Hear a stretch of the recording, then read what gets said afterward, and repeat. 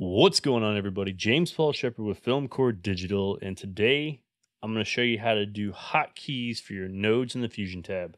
All right, so now that you're in the Fusion tab and you want to add a node, you probably use the shift space, type in the node you want, and hit enter.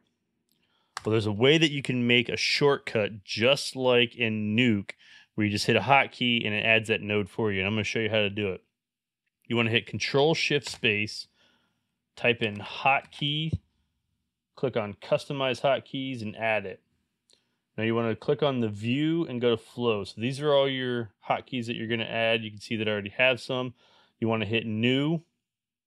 You have actions or you have the tools that you want to add a hotkey to. We're going to add a tool. I'm going to do the paint node. You want to click it, make sure it's highlighted, come up here. I'm going to make mine P. You might have to hit it a couple times because it does glitch out and tell you that you put something else there and then make sure it's just the key that you want it to be.